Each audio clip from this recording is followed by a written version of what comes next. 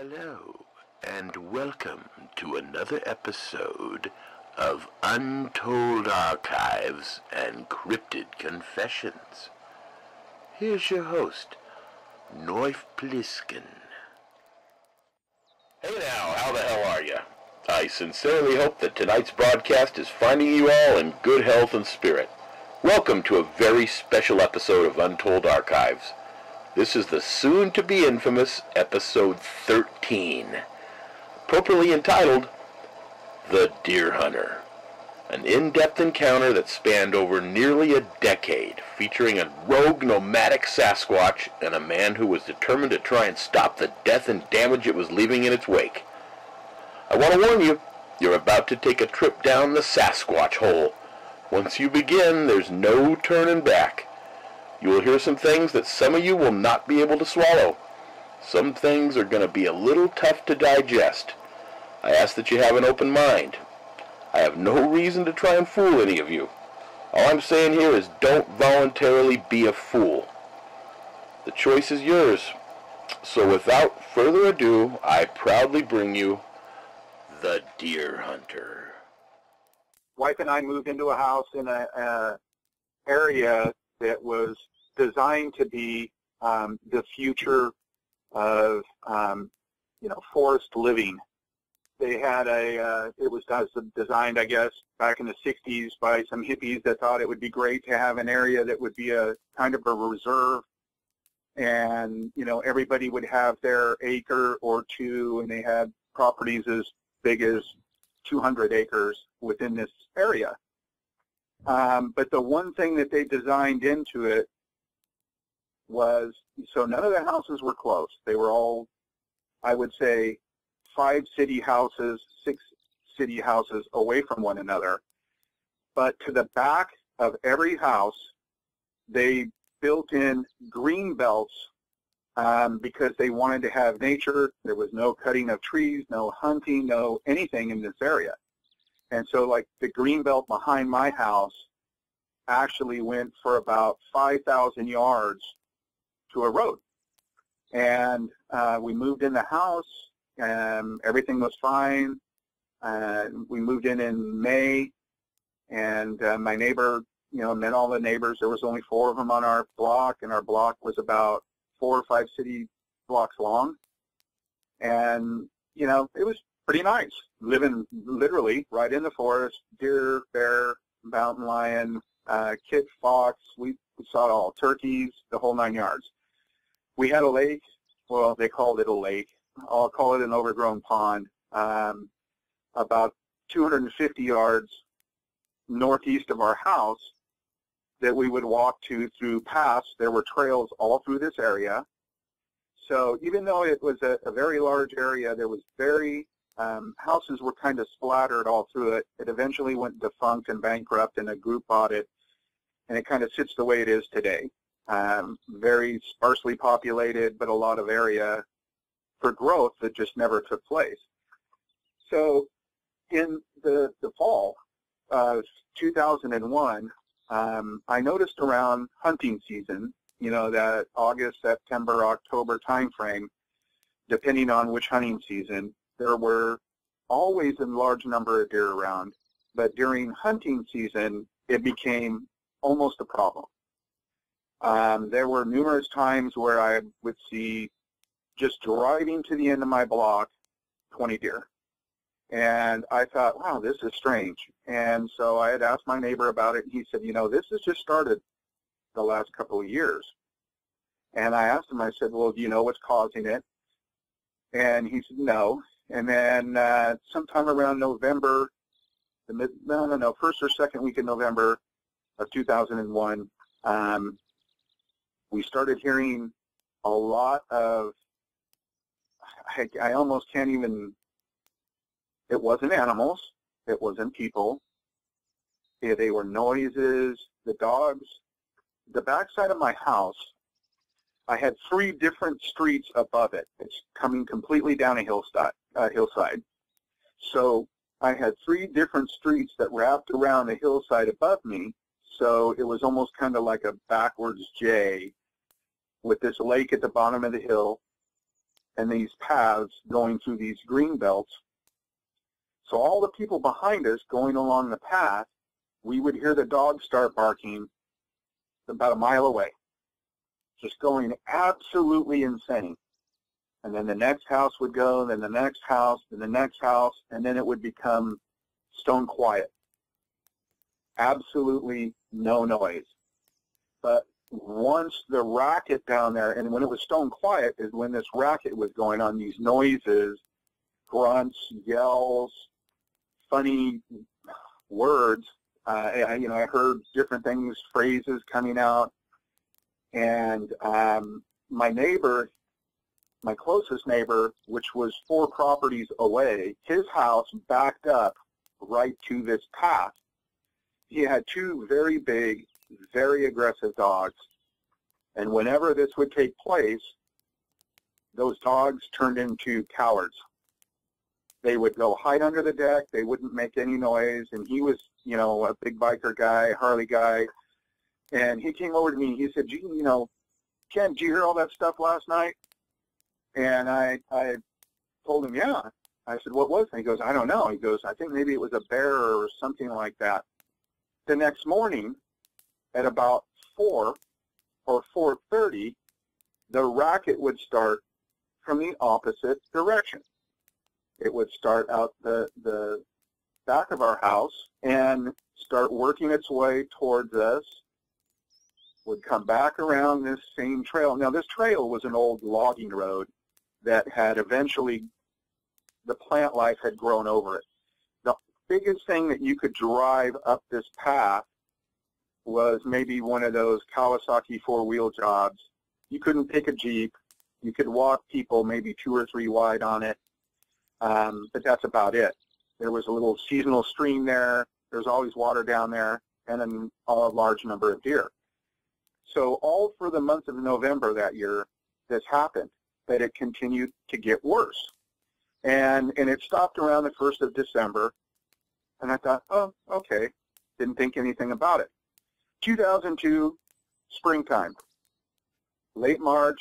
It was, um, in fact, I know exactly when it was, a week before my cousin's birthday, so it was the last week of March. The whole thing started back up again. The deer started moving down around the homes. The racket would start at night. It would stop. It would last. This whole thing that was going on would take about 20 or 25 minutes for this thing to work its way through the area. I had no idea what it was at this point. And uh, again, in fall of 2002, it was even worse. Each each progressive time, there was more noise, more racket. Um, I hadn't found anything odd at that point. We just, my neighbor was freaking out because he was hearing these noises literally right out his back door. Was this a particular time of day? Uh, it always started at night, and it happened again the following morning. Okay. And I had figured it out. It took me a long time to figure it out. Maybe I'm slow ahead. I apologize. But um, 2004, uh, I ended up, the spring of 2004, I ended up having to have several operations on my ankle. I blew it out lifting weights and had to go to the doctor. This is kind of relevant to what how I found out what exactly what this was. He gave me a bolus of steroids to remove the swelling in my ankle after about a week after the surgery. I was supposed to be walking on it. I couldn't walk on it, so I was a irritable, grumpy bastard. And my wife made me stay in a, the guest room that faced the trail that was about, I'd say, 105 yards away out our window down a hill. I was laying in bed, and it was about 11, 11.15. I was agitated. I was watching TV. I don't know what I was doing. No, I wasn't watching TV. I had to, there was no TV in the room. I was just laying in bed, and it, and I all of a sudden started hearing this noise, and it was so damn strange. I was looking around. My wife's dog, which was in the room with me, got up and, and fled. The windows of my room started vibrating, and I, when I was saying vibrating, they were dual pane windows. I know I paid a bundle for them, and they were. I thought they were going to fall out of the uh, wall, and I kind of hobbled off the bed, and I could see outside. My porch light, the front porch light was on, and I could see this. I don't know what they. Wes and I went over this today. It was an adolescent deer. It was one that was probably just released by its mom by a month or two, maybe three, you know, fall the, the, the year before, so maybe four or five months.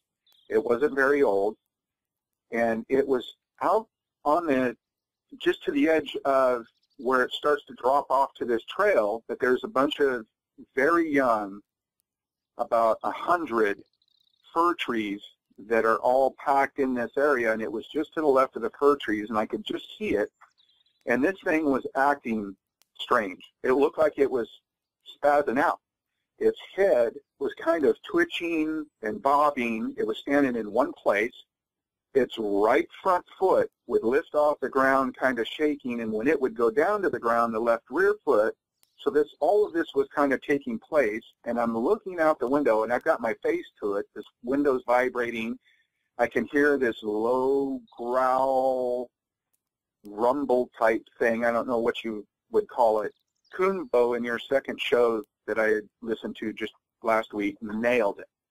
It went on, and I could see a very faint outline of shoulders and a head the one thing I know about the forest, I spent a lot of time in it, camping, the whole nine yards, hunting. Um, the one thing I know about the forest is you don't see straight, even, nice curved lines like that. And this deer was doing the funkadelic. This thing was standing about, I would say, 40 feet maybe behind it, and I could only see from about the chest up. It was extremely big, had no neck, I could just see the outline. Well, somewhere on a road up above us, and this whole time everything's vibrating in my room, I was getting kind of panicking because I didn't have any guns in there. I'm laid up. I'm seeing this weird stuff going on. Sorry, I was almost going to sling something out there. And then somebody had slammed like a car door or a tailgate or something on a road way up above us, and it stopped instantly. And the deer kind of looked around and darted off towards the road parallel to my driveway. And I watched this top half of this thing turn slowly and just kind of go down the hillside. And I was like freaking out. And I had never heard a growl, rumble, thing like that before the window shaking, the dog running out of the room, being immobile. And I'm not a cowardly guy in any way. I've spent my time in the service. I've been downrange, as they say, and I I couldn't believe it. I I was I did, well. I'm tongue-tied now, so that's exactly how I felt then, and I'm feeling that. It's weird. I'm feeling the same way now. So the next morning, I iced my foot. I forced a boot on, got dressed, I grabbed my 357 and I headed down. I didn't hear anything the following morning. I headed down. It took me a long time to work my way down, had a cane with me, and I started going around to where the seasonal creek was. And um, I noticed two partial tracks, one on one side, which was the right heel, and the seasonal creek at that time was about 12 feet across and I could see the toes and the front half of the foot on the other side where it touched down. So it had, in a single stride, made it across, only getting parts of its foot wet. Um, the heel was very big, very wide. I remember it was kind of stupid. I apologize, but I stuck my shoe in it, and there was a good two inches on each side of it. On the other side, when I hobbled across the creek and looked at the other one, I noticed there was a severe injury to the toes and to the ball of the foot. That's about all I could see. It was very deep where the ball of the foot on, on me would be. It was about three or four inches deep, but the rest of the partial track wasn't. The three toes, three smallest toes were kind of twisted and moving to the left. The big toe and the one next to it were um, looked somewhat normal but enlarged. I, I, I had nothing to compare it to, but they it just didn't look right. And this would be a common thing that I would come across. So I started like, well, this is this is huge, and I went down the trail a ways, and it was very intelligent. It would walk where there were leaves, or brush, or pine needles, or things where it wouldn't leave tracks. But the other thing, if you didn't really pay attention, you would see one big footprint, wouldn't think anything about it because his other one was five and a half feet away. He had a stride. Ultimately, um, a few weeks later, I got a measurement and uh, kind of a half-ass measurement, and it was a little over 19 inches uh, of the good foot. Um, I started trying to figure out what I could do um, because the racket, the noise, the thing that was taking place during these times of year, and ultimately what it was doing is it was crossing through where we lived to go into a valley that was behind us um, that was a very specific forest that there was no hunting, no logging, no, um, basically no use.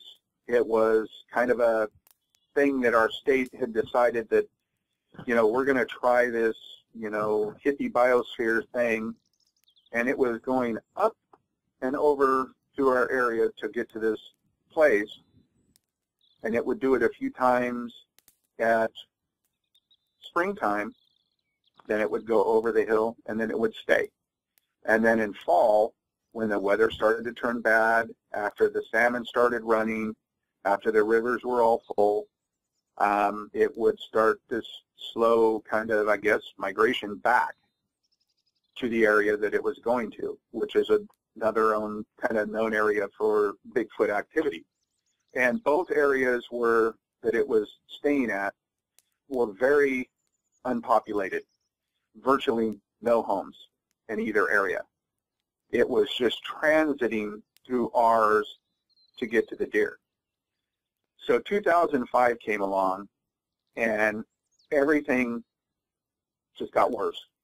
2005, springtime, we had a huge number of deer around our property. I, I mean, and when I say around our property, they were right off our deck sleeping. Six in a pack. Other side of uh, the redwood trees, six in a pack. There were some out a little ways. You look at the, uh, I drive home, I see four or five around my neighbor's house, six or eight around another's.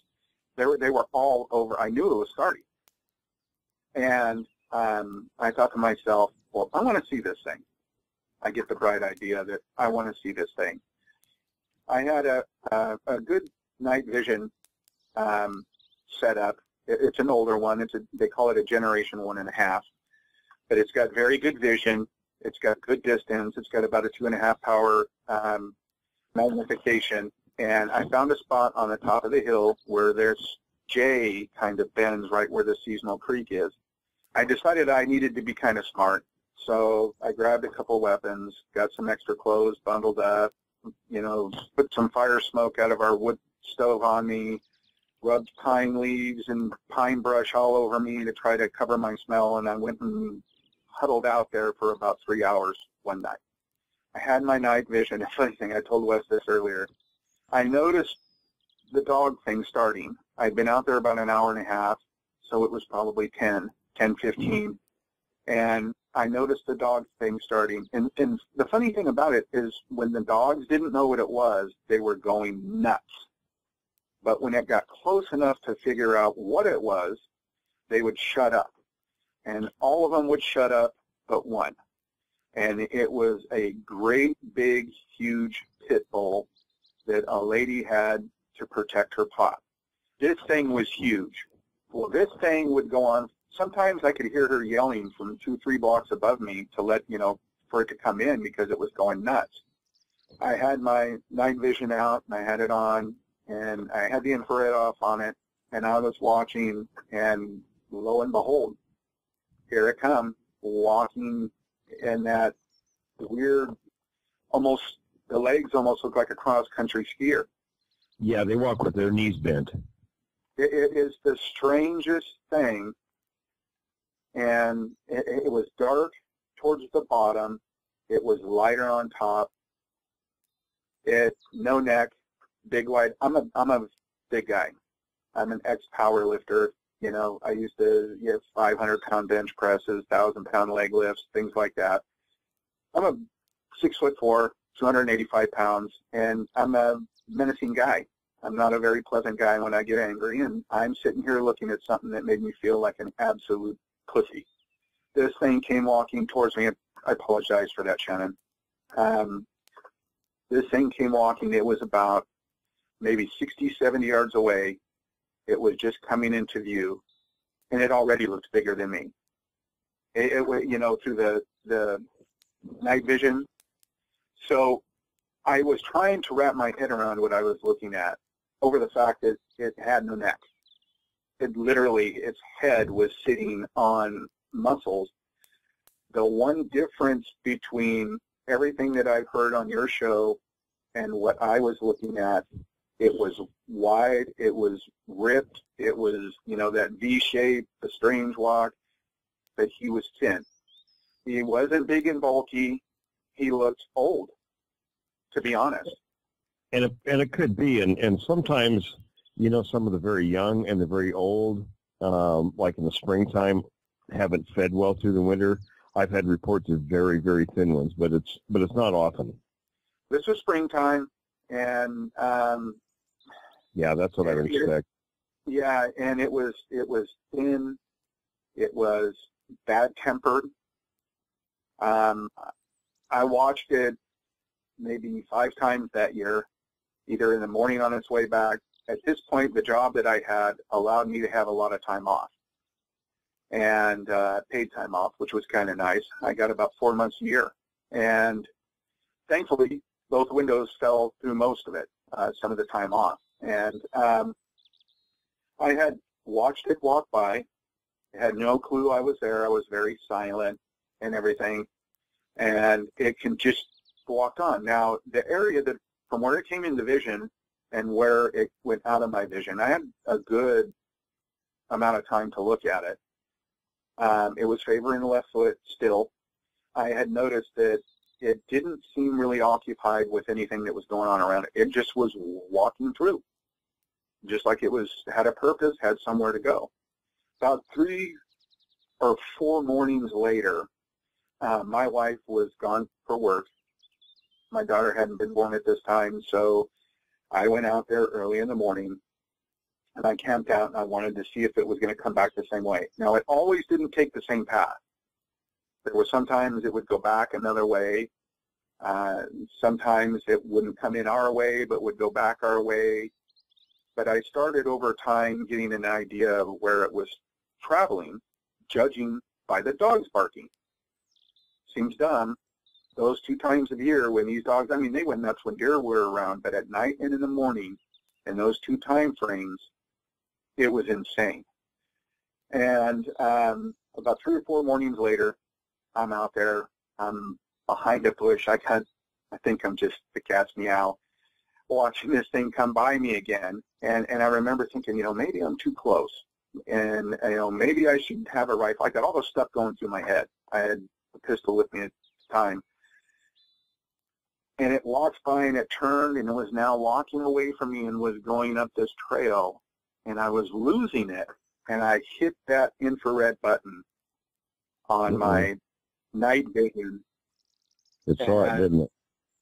It turned around in the blink of an eye. Huh.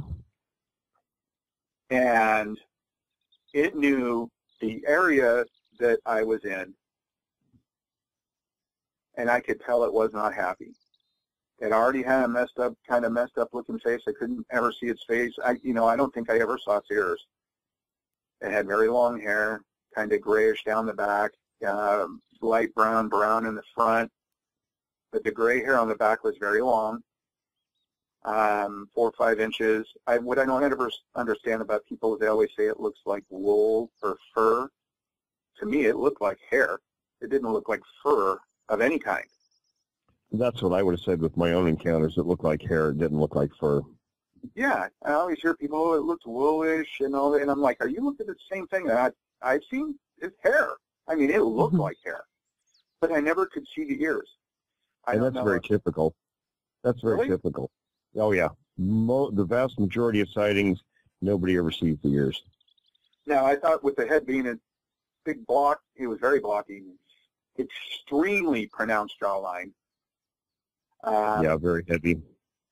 I was going to say the ears. You, you know, we used to think, and they probably are, you know, probably smaller and and set very close to the head, and they're covered with hair. Uh, I was starting to get little bits and snippets of it a little closer, and um, it stopped. He went over the hill, went over the top of the ridge, didn't see anything. A bunch of start, you know, a lot of people were talking about strange activity all year. When I would go into the gun store, people were talking about, you know, animals being torn up. You know, a pony got uh, its neck broke, and um, but this was now all south of me. I thought, well, maybe it's him, maybe it's not. I, I didn't know who to talk to. I had started looking online. I started reading, and everything I read was all over the place. And this, by this point, it didn't seem to be bad.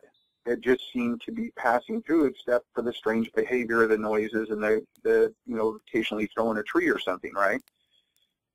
And the fall of 2005, it all changed. I don't know what it was with its demeanor. And by this time, I had been looking on all the other trails, the logging roads for tracks of another one, never found any anywhere except for the other path that he was using and uh, or a couple of other paths that he was using when he wasn't using the one close to my house. It was about 10 or so at night. We were, my wife and I were, I don't know what we were doing, had the TV on in the family room, and we started hearing this Uh, of a young deer just crying out. And I remember walking kind of out of the kitchen into the, and we could hear this over our television. I mean, it was wailing, absolutely wailing. And I went out and I turned the TV off or down. I opened up my front door and I remember looking over at the clock and I could hear this thing just wailing and wailing and wailing. It went on for over six minutes. And I thought, oh my God. And, you know, we had these deer all around the house. The deer were all shifting away. They were all running, you know, away from the noise.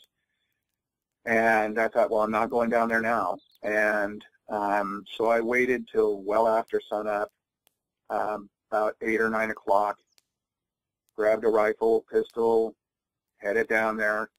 Um, took me a little bit to find it. I kind of knew the area very closely to where it was at, but it was right off the trail, and the game used the trail too. And um, its hind leg was ripped out of its socket so violently that it had tears in its fur on the inside underneath. I started looking more closely at it, and there was a big opening and blood right at the base of the neck, there was a great big huge footprint right on its leg, its left front leg. It was laying on its right side.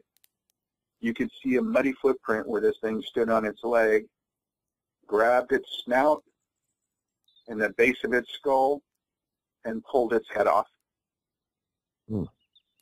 And the head was about, it was, I had, I had told Wes earlier, it was very similar to the pics from Oklahoma except it was the hind leg, not the front. The leg wasn't broken. It was literally ripped out of the socket, like it had turned it all the way up over its back.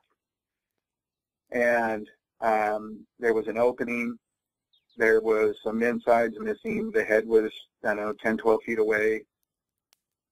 Uh, there were a lot of birds, crows, ravens, all that stuff about nothing will ever touch the kill. There were flies on it and everything else, but it, it didn't take any, the, the whole deer. And that kind of puzzled me. And then I started worrying about, God damn it, I'm standing here. You know, if this thing's around, I didn't hear anything. It was kind of quiet. You So wouldn't be I in a good place. yeah, and I, I, you know, and I just remember looking at it at first, and then I got this kind of panicky feeling, and I, I pushed. I knew which deer it was too. It was one that frequented our, our house. It had a little notch in the top of its ear, and I pushed it up underneath some brush. I didn't because kids come through there sometimes in the afternoon or families. I didn't want anybody finding it, and it was visible from the trail. Um, and I left. And then at night I heard a little bit of ruckus and heard some weird sounds. And I had told Wes that it sounded like it was saying north or out. And it, it would, then it made little short bursts of like anger noises. And then it was quiet. I went back down the next morning. Deer was gone. Head was still there, uh, but the deer was gone. And um, from that point on, it turned into crazy town. I called the BFRO after that, and I went through a whole bunch of uh, uh, called the BFRO, had a bunch of back and forth. They wanted to come out and talk to me. I wasn't too keen about it, um, both for the reasons I've stated to you guys. And um, so one person passed me off to someone else, who passed me off to someone else. And then finally, someone called me from up in Eureka, and they gave me a name of a guy to call and told me to call him on a certain day. And I had stopped going down there or even trying to watch because the noises were becoming more insane. It was, you know, we were finding more debris, trees being pulled out and thrown, none, none of the twisting, none of the X's, nothing like that. It just seemed like anger stuff. And so that I, I called a guy on the day, and he asked me if I wanted to do an incident that he'd be willing to drive down. He told me his name was Jim. And then he proceeded to tell me about what an expert he was. um, I've been on six expeditions. I've been on television. And you know, it started out squatch this, squatch that, squatch, squatch, squatch, squatch. And at some point I had to tell him to shut the F up. I I, I don't mean to laugh, but those people, those people crack me up. well, honestly, I think it's that idiot that's on the TV show. His name was Jim. What's that idiot Dumbo? Oh, oh, oh. Bobo? That big guy? Is it, is it Bobo? Oh yeah, James. Because James is his full name, right? James Fay. Oh, yeah, yeah. I think I honestly I think it was him because he was talking about all these expeditions, the fact that he'd been on TV, and Hmm. and I started telling him about the stuff that was happening and how it was kind of ramping up. I mean, I could tell it was ramping up, and um, and he, well, that's not normal Squatch behavior, you know. No. Gonna, and and you know, and I started telling him, I said, look, I said, there's a lot of people around here. There's kids, there's dogs. By this time, dogs were missing by droves. There were literally sign after sign after sign. We lost cats. Um, there would you would go to a telephone pole and there'd be 30 missing pet things out there. They were going after the easy meals. Yeah, yeah, exactly. And by this time, its foot was healing up pretty good. Some of his tracks, it, it didn't have that deep impression. Its toes were still kind of messed up. Um, but after that point, I told him, I said, I'm sorry, I can't do anything with you. He goes, well, I was just down in your area, you know, a few months ago, and and you know, some people were hearing calls and stuff like that. And I told him, I said, that's good. You should go down and talk to them again. Uh, I I can't do it. So um, it stopped sometime after that, and I kind of had given up on it a little bit. and I noticed um, the following season it became more violent. And so I got the bright idea to call the sheriff's department. And um, at this point, I was getting concerned about going out there at any time. And um, because I didn't know if this thing, you know, we would hear him mostly after dark, and he was very intelligent. He knew the traffic patterns where we lived, and his movement through there started right after the second bit of traffic at night. 9, 9.15 would start over by the other side, and then it would slowly come and work its way around us and up over the hill. The next year, more more of the, the, the cruel deer killings, I had started calling it Satan. Satan and Lucifer. It wasn't, I'm a hunter. My father put food on his table. He had to when he was young. And my dad preached to me, even when I was in the military, you go for a quick, clean kill. You don't torture. You don't toy. It's not a game. This thing was toying with these things, and we heard it more often than I could care. It, it still bothers me. I actually uh, remember standing there looking at one one time, and I was crying. I was thinking to myself, why do this? And, you know, tearing it up. At that time, the big pit bull, the lady got it. You got to remember, this is a huge marijuana area. Everybody's got pit bulls, Dobermans, big aggressive dogs. There's people out with guns, not necessarily in around the homes. Some do. Um, the lady with the big pit bull came down to my house and told me that her um, dog was gone. And I had seen her before and talked to her before. She was putting up signs. She asked me to, um, if I'd see it, if I would call her. I told her, you know, there's a very good possibility that your dog's dead. And she goes, I know, but if you know, let me know. So I went in the house and grabbed a rifle, grabbed a pistol, flashlight. It was in the afternoon. I went down, started looking around towards where I saw most of the normal deer kills. Nothing. Went back over towards the seasonal creek, which was running. Again, both times a year it, it was running when this thing would come through. Um, up under kind of a little area off about 200 yards from the back of her house, straight down the hill, was her dog. And it was in pieces. And as far as I can tell, nothing was ate. There was literally a leg over there, a leg over there, a leg over there. It looked like it had been pulled apart. And I remember thinking, I never heard it. You know, we heard the ruckus at night. I heard, you know, her dog barking, but I never heard this thing get destroyed. Started calling the sheriff's office. I started telling them that there's some crazy man that's behind our homes, and other people were talking about it too. You know, it wasn't like it was just me, but people were talking about some of the stuff we'd be walking. We stopped walking the trails. We would start walking down our streets. I ran into people, and they were like, you know, and they would have guns with them when they never did before. So people understood that something was going on. I went and told her lady, the lady about the dog that, you know, you might want to give it up.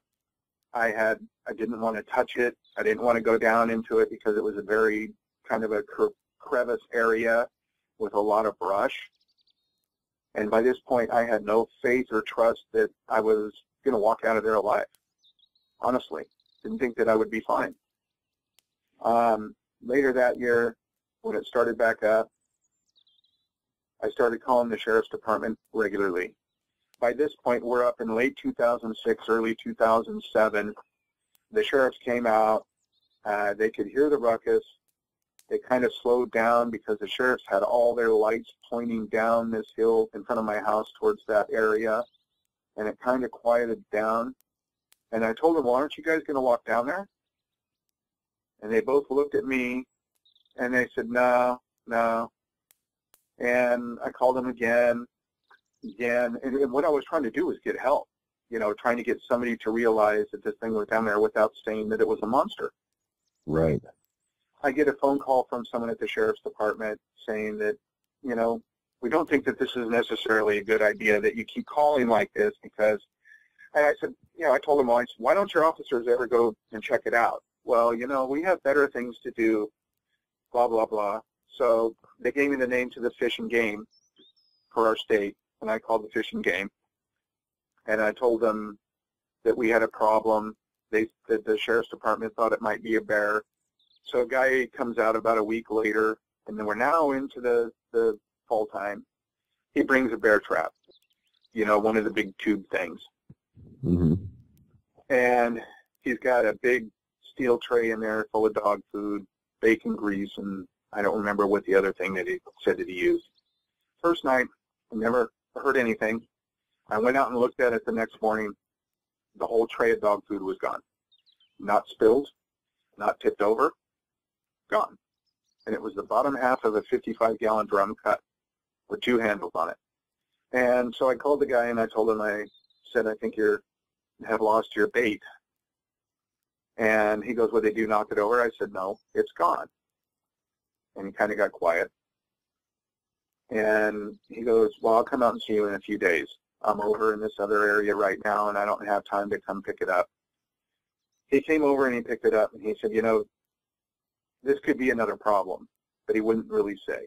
And so I started talking with him about it, and, and he said, you know, they have these problems over in this area and that area, and um, he goes, there's really not a lot you can do about it, except for, you know, the, the same things that I was trying. I finally decided to get the bright idea to get rid of it. And I went out, it was late, I was kind of hanging out over uh, my, my regular hidey hole. I saw it walk down the trail and go to the right of a big area of brush. And I watched that area and I watched that area for about 20 minutes and I thought, it's gone. I'm watching and I'm watching and I'm watching. Don't see anything come out the other side. Didn't hit my IR. I could see the pathway where we would walk. I thought, okay, well, it must be gone. So I walked down the hill very quietly, started walking down towards where this opening was, and, and there, there was about a two or three foot opening above your head where the brush didn't touch. And I had a good, very, very good view of this trail. I got closer and closer and closer, and I saw where it walked up to the right behind the shrubs. God, this almost sick to my stomach. And I could see that what it's not there, and I'm kind of looking, and I've got my rifle in my hand, one hand, I have my night vision in the other, and I kind of look off to the left, and there he is. I dropped my night vision. I dropped to my knee. I raised my rifle up. I had the safety off. It was in a second fraction of a second. I could see just the top of his head, about the most of the right side, eye, half the nose, the shoulder, you know, the mouth. It was less than five or six feet away from me, just on the other side of the shrubs that were on the opposite side of the trail. I have absolutely no idea how it got from one side of the trail to the other. It either climbed a tree or it jumped or it ran a hell of a long ways down where I couldn't see it and turn around and came back. And I've got my gun and I had a Mini 30 with me. I had this barrel pointed at this thing and it was kind of leaning towards me and its head was kind of coming over the brush and I could hear its hand working its way through the brush. I'm taking slack out of the trigger. I'm looking at it and just as fast as it started, it turned and walked away. And I think the motion that it did with the leaning over and putting the hand through was letting me know this was going to be a mutually assured destruction scenario. I had a headshot. Could have very easily taken it. I could have dumped 10 of them in his head before it left. I went back. I went home. I was scared. not going to go into the whimpering or changing the shorts moment, but it was pretty darn close. The only thing I think that ever scared me more than that was indirect fire. I went back around noon the next day and couldn't find a way how he got from one side of the trail to the other. Did are you sure it was the same individual? Oh, it was the same one. The gray hair, the gray. I, I was I was so damn close to it. I there was enough moonlight. Um, it was the same one. In fact, he had the the same effed up left foot. Now, whether he walked on pine needles and walked a long way, you know, there's other options. I'm just not saying that he uh, beamed himself up like Scotty and moved. Right. There's all kinds of things that happen out there. Yeah, there. You know, he did something. Clearly, it was smarter than I.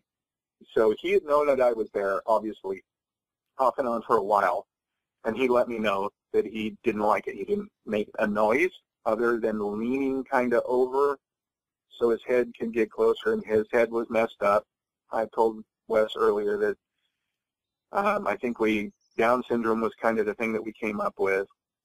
Didn't have the pointy cone head though, but I can tell you close how tall he was.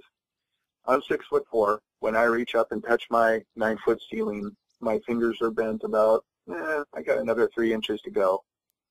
He was every bit of that, if not more head was very blo- kind of blocky, almost looking very, very pronounced jaw. The eye was kind of, I don't know, it was black.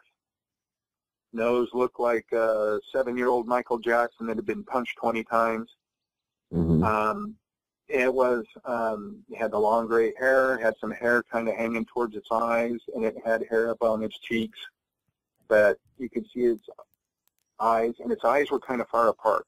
When he kind of turned and bent over, they seemed unnaturally kind of far apart. They didn't seem close. Yeah, it's different than human proportions. Yeah, it was very odd. His head, easily bigger than mine, with a helmet on. Yeah, I mean, they're massive. I did, didn't see the ear. No ear. I, it was covered with either with hair but I mean, there wasn't even like a, you know, a, uh, something sticking out like where the air would be. It was weird. Yeah, they lay pretty close to the head. So it, it left. 2008 came. We had huge fires in our area. A lot of things, strange things started happening, but I also noticed more people were complaining in other areas. So I was getting the impression that this thing wasn't leaving our area as much and was just going for whatever it could get we had an idiot BFRO person that was associated with him. I don't know what she did that was close by us that started was leaving apples, big bags of apples, old apples out there. Um, the dog thing continued. Um, by this point, it was it was now coming closer to the homes. It wasn't sticking to the trails. Um, late 2008, after most of the fires, we had a lot of fires around. There were several sightings all over the county during that time. The lady that had moved in, which would be across the street from us, she was still quite a long ways away. She was uh, six months pregnant, just starting to show really good, had that nice little bump out. She came screaming out of her house one night that there was a man in a tree looking at her in her house. She had a kind of English Tudor style two two story job, big deck, steep hillside, and she was. I heard her and instantly grabbed my rifle, went out, and I went down to the street and I I told her don't go back to your house, dial 911, see what it is. So I walked down to her house and I looked and I could see him coming out of the tree. She thought it was a man wearing a fur coat or a fur jacket of some kind. And he went down the tree. The tree was probably a 180-year-old redwood, so it was probably 200 or so, close to 200 feet tall, maybe it's a little older than that. It went down that tree like a squirrel, like a squirrel. He was so far up in the top of the tree that the tree was slain and he's shooting down this thing, and was gone. So at this point, I know he knew who I was, and he damn well knew I knew who he was. Sheriff showed up. They went down there again. They saw me, weren't happy, wouldn't go down. Ended up calling the sheriff a few more times. My neighbor lost both his dogs. People down the street lost their dogs. Called the sheriff's one time when it was going berserk. The neighbor that lived next to me that had lost the dogs had moved out. This was 2008. We're getting up around 2008, 2009 now. Huge crush, stock market crash. A lot of people were overinflated on their homes. And literally half of this neighborhood I lived in was empty. And um, that just made things worse. But it made it easier for me to go poking around and I went around the back of my neighbor's house and I would sit back there and, and watch it. But the good thing was is I was a lot better hidden. At this point, it was it was having bag lady moments, and I'm not kidding. It would walk, it would stop, it would fling its arms around and making these noises, and walk off. And a lady the following winter now the deer thing was a steady thing. The deer were being found fairly regularly. Um, still kind of migrating, but the following winter, um, this time my, my daughter had been born and I was spending more time with my wife and kids. I was waiting to take my daughter to see um, a specialist and we were parked down at the end of the road. It was really icy and, and we were waiting for the ice truck to come by. There's light snow on the ground. It was about six, still dark, and she was sitting in her her child seat in the back, and I hear, see him standing out in the middle of this road, waving his arms at a car coming down the hill. The lady actually crashed her car. It went off the, on the side towards the edge of the lake, and she was sitting there looking out the window at this thing waving its arms, and then it just turned around and walked off. And it was all icy and everything, and I, I thought, well, I think I'm going to head home and call the doctor and tell him we're not coming because we mm-hmm. had a long drive ahead of us. And I went home and took the, took my daughter home, and this stuff was started happening in so many places. I started noticing, I went to a little market that was in our uh, area, and I kid you not, there were 250 missing pet signs up there. So not only was he doing this where we lived, but he was going other places when we didn't see him. I don't know if it was in the daylight, if it was whatever, but he would at times, when he went over the top of the ridge late at night, I, by this time I'm now driving around at night trying to figure out where he's going. And I figured out for the most part where he was coming from and where he was going to he'd go over the top of the ridge and he'd go over this valley behind us that was empty. The only thing that runs out there is a set of railroad tracks that are only used for seasonal train ride stuff. He would go out, he would go about two-thirds of the way down the hill, and he would let out a scream that I promise you was heard 20 miles away. Just a gut. And the funny thing about it, it was deep, but yet it had high notes in it just a ripping, and it would go on for about a minute and a half, and then it would walk on down into that valley. So we started having a lot of other problems in this uh, area at the time.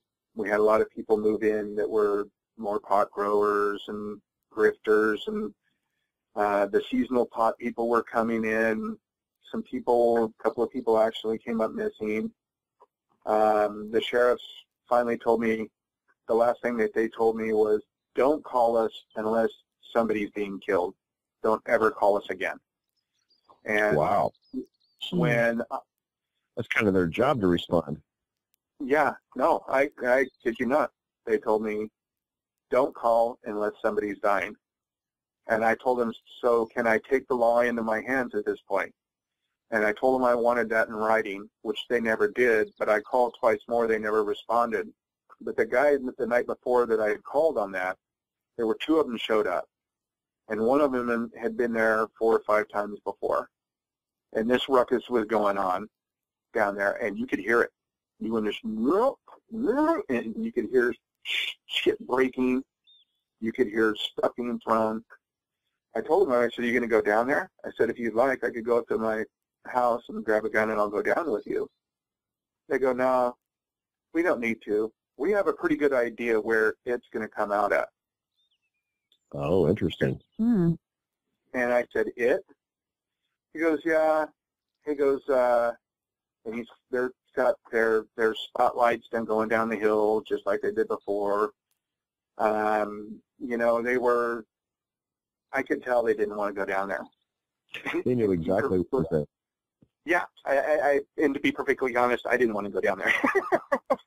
I know either. three of us. I thought with three of us, I might have a little bit bigger balls, but um, I, I didn't. They left, and I heard them drive up to the street above us, which had better visibility down into the valley, uh, down to this area. But they left, and then I got the call the following day that, that I was never to call them again unless somebody was dying. So many things happening in the area, both with this and with you know these these strange people coming into the area. Like I said, a couple of them disappeared. They had a lot of disappearances during the last few years that we lived there. And the reason why the police never really made a big deal out of it is a lot of the seasonal help for the, the pot comes from other places. There are people from other places coming up looking to just be part of the pot business. And um, so uh, there were flyers, you know, guys from San Jose, Texas, Seattle that, you know, hadn't returned home, but nobody, you know, it never made the news. It was never talked about. There was just these missing persons flyers. So I found a guy that would give me information or would talk to me about it. And um, this kind of happened a few years before. It was in um, 2005. And I didn't, I wasn't sure if I was going to talk about this. I talked with Wes about it a little bit, but I, I kind of just decided to because this guy helped me out a lot, even though he's dead now. But he helped me out quite a bit. He was a he was a pot farmer. He had several hundred acres in a in an area that was very remote, very steep, heavily wooded, very difficult to get to. He had a cabin that he had built that was very, very well built. And he had been doing this for a number of years. He was a wealthy man. I don't know why he continued to do it.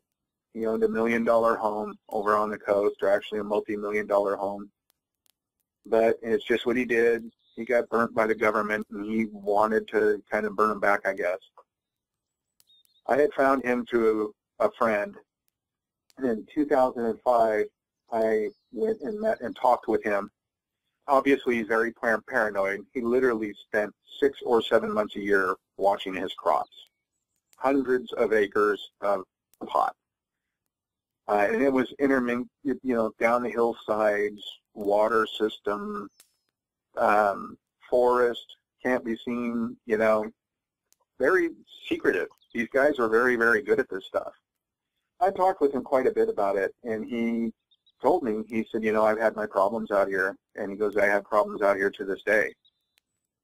And he had told me that several years before that, in the late 90s, 98, 99 time frame, um, he started getting harassed. He said, and it started out a lot like a lot of your um, listeners, banging on a cabin, a rock here and there, and he had rapidly escalated. Yeah, the situations ramp up. Yes, and he told me this, and this is where I got the only little knowledge I have about the situation now. He told me, he said that if you ignore them, they may not ignore you, or they may.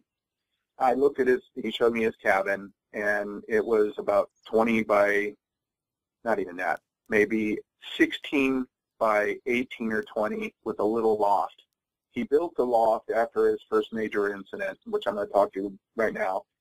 He, um, in the late 90s, started having a problem with one that was about seven to eight feet tall, and he doesn't know how it started. The thing seemed to be fixated on his cabin, and it would come around. Now, the cabin only had two windows. and they were east and west. So sunlight in and sunlight in the evening. The rest of the time he was out tending to stuff. He had a generator buried underground uh, in a 20-foot container unit with all his supplies and stuff, and he was very, very heavily armed. Um, those guys have to defend their crops, and they do it, and they will kill you. And um, he was dead serious about it. He was ex-military, and you know he made a lot of money. He told me he made six or seven hundred thousand dollars a year cash. I asked him what happened. He said, "Well, this it just continued to the point where small things, and uh, you know the banging, and he'd be out during the day, and a rock the size of a grapefruit would fly by his head. He wouldn't know where it was coming from." And then, so he started getting kind of panicky. And so what he noticed is it was late in the afternoon, all night, and in the morning, and he was becoming extremely paranoid. And he had built on the inside of his front door was made with two by fours. And it was literally blocked in with two by fours, and it was the most solid door I'd ever seen. It had an old-fashioned iron latch on the inside and had a rope that went up under the eave to the top that you could barely see where he would pull it to open it. He had a about a four or six by six opening in the door that he would put a two by four behind where he could look out at his crops because his cabin was right at the top of the hill and he could see right down the hill. This thing got to banging on the house and it was multiples at times, single at time. He he was getting to the point he was now drinking because he was paranoid and scared. He was drinking a lot of alcohol. Finally, he hears a big commotion at his front door, and he takes this two by four off this little peephole that was about four by six, and literally was a hole. There was no glass, no nothing. And he opens it up, and he sees the back of a head out his front door. And all he said, he sees his hair. And by this time, he had seen him several times and he took a 357 and shot it promptly in the back of the head. And it dropped right there where it was, was standing. There was a bunch of commotion outside. Um, he didn't go outside. He didn't do anything. The next morning, he found it laying out there. Um, he couldn't move it. He said he was became kind of distraught when he rolled it over because of how human looking the face was when I told him the one that I saw, he said it didn't look like that. He said it looked very human. And it, it bothered him. And it bothered him to the point that, you know, he started drinking more. He eventually died a few years after that, or a few years after I talked to him in 2005. But it, um, he didn't know what to do with it. He didn't want it on his property because the fact that it looked so damn much like a human, except for big and hairy. He had to take a chain and wrap it around its legs and drive it down the road, and he dumped it in the river. And he said it went about 100 yards down the river, and it got hung up on some rocks and a couple, you know, log snag type of stuff. And he said it was there all the, that day, that night. And he said it wasn't going to become unsnagged. He figured somebody would find it. Other pot farmers would talk about this stuff. The next morning it was gone and the next morning his problems became worse. So he would be stuck in this place all summer, drinking, trying to keep his paranoia in check. He eventually went and bought a 50 BMG bolt-action rifle because things came so bad. And when I saw him, he had at least 20 weapons in the house, everything from H and Ks but the, the 50 BMG I saw, and he said about six or eight minutes later, he shot a second one with that from the roof of his cabin because they would not leave him alone. Um, his crop came in. He never touched that. He doesn't know if it died. He didn't, you know, he said it kind of went down the hill and was tumbling. But anyone that knows a 50 BMG round, I doubt it got up. Yeah, 50 cal is pretty serious. Yeah, and he showed me the bullets, and he was using 600 grain bullets, and um, he he he died a couple years after that. I actually bought some of his guns, but he he kind of told me a lot about what they do, and and he said if they decide to fixate on you, you're in trouble. And he told me to kind of try to let it go as much as I could. But with the problems that I was having in my neighborhood, my wife and I had finally, because we had a daughter, she was very young. Everybody on our street was now pot growers, and uh, we had other bad behaviors going on. People were now shooting, most likely at this at night. We could hear it more frequently. Its behavior became more deranged, and so my wife and I just decided in 2011 to leave. We gave our house up. We walked away from it. Um, like I told Wes earlier, I thought I was done with this. I was just going to give it up and walk away, and I was never going to look at this again. Um, my job gives me the ability to work with people all over the United States, really all over the world. Not long after I moved to the area where I'm at now, I was working with some people up in the Pacific Northwest, and one of them um, had told me about some emails that he had. This was in late 2011, and he showed me some emails from people, and, and I had to kind of work this out with Wes today, who was who was boss and who wasn't. But it was starting with people from like the BLM and the Forest Service, and it was the Department of the Interior were involved in these messages, and and they were people that were afraid to go into certain forested areas of Oregon and Washington, and they were wanting assistance from the Department of the Interior about the problem, quote, the problem. He had showed me some messages that had to do, you know, do responses back where you can't tell anyone. If you tell anyone, you know, you could be in prison, you can lose your job, just group up, have more people go with you, you know, or, or if you have to go into that area, you know, take guns, you know, it, it was this whole thing and and the second or third email the guy showed me, the lady actually had stated. She said that she had been like an 18 year and she had never seen anything like it. And she said, Squat, Sasquatch is real.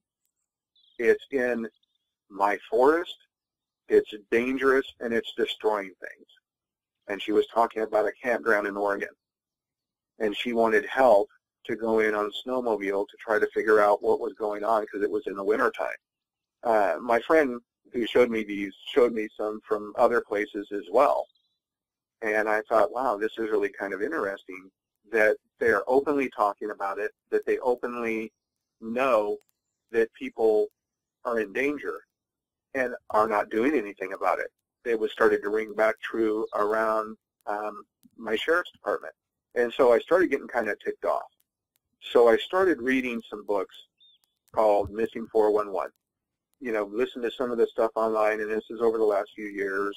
And I started getting the idea that there's there's got to be at least some correlation. Not all. I'm not saying that all of the stuff that he's talking about is it. But when we talk about the case where the Green Berets get called in, and uh, the dogs won't hunt, and the dogs lay down, and and people are found supposedly killed by a bear attack, but the bear first undid their pants, pulled their pants down to their ankles, took their shirt off, devoured them, and all they find are the pants with the socks and the shoes and the bones of the feet left in it.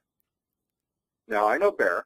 I've hunted bear, and I'm pretty sure bear can't undo a pant and pull it down no. to one ankle. So I started getting the idea that something has got to be done. And um, I started reaching out to more people and talking to more people. And I actually ran into one of the, the guys that was working with the missing 411 thing in an airport about six months ago, eight months ago, when I was flying uh, back east. And he said that they haven't even begun to touch on it and um, talked about the problems in Texas and Florida are so bad that they don't even, they're not even part of the books. And he wouldn't really go into any details. And, and I know that, I, I think, Will, it was you that said that um, you felt that he, Dave Paulides, embellishes a little. And after looking over the information, I thought the same thing at first, but he has done such a thorough job in researching this against these national parks. Do you understand where all of this stuff is happening that that bear biologist up in Alaska, or was it Canada, got devoured. Right. You know, you start looking at this stuff, you start realizing what I already know. They're monsters. They're dangerous. You look at Honobia or Hinola, Oklahoma, the Humphreys. They're dangerous, right? Absolutely. So I found your guys' show about a month and a half ago, and and I had told Wes that I'm sitting down and I am now going. I'm going to start working on a documentary. I came across. I was working with some people a few weeks ago who um, had access to some information in Texas, specifically around the torn up camp. And I had the ability to take a look at some of this information. And if nobody remembers, um, Bob, I believe his name is in Texas, posted the video of the torn up camp. Um, right. I had the I had the opportunity to take a look at some information that went back and forth between the agencies. They know what the problem is. They know what's going on. Uh, some of the quotes that I heard in there were talking about their migration routes, using the Big Sandy, going between one location to another, uh, certain roads that they're crossing in, in the SAM, uh, the Sam Houston National Forest. Um, they were talking about how uh, in a park called the Big Thicket, one of these messages that I had read, that the Big Thicket when I looked up on a map, I when I left, and I only see one park, but apparently there's four of them that are associated with this big thicket national preserve. And part of these messages that they were talking about were these different areas. So that this is 16 missing people in the last three years, and your serial story is no longer going to cover it. And it was spelled serial killer at one point there were actually some references in there to case law that helped Bob, meaning that they were they had somebody from within the state had quoted law that um, said that he couldn't be in trouble for videotaping this. And these these messages that went back and forth, obviously the people, the local people, were deeply concerned about what actually happened but the federal government was not. The federal government was, from what I could tell, trying to crucify everybody involved. But one other odd thing that came up in these emails, so not only did they know their migration patterns, where they were going, but they also stated that the Big Thicket National Preserve is a biosphere, bio something preserve and once you enter it, you are no longer an American citizen. You are no longer really? an American. Mm. Yeah. It's part of a deal. I, I couldn't believe it. I had a heart attack when I read that. So had he been in that park, all bets were off. Another thing that um, was kind of that the wording Texans gotta love them. I mean, they think that they're their own planet or something but uh, this wording talking about these laws and stuff, and, and this they didn't care about where Big Thicket was a biosphere something preserved under UN control.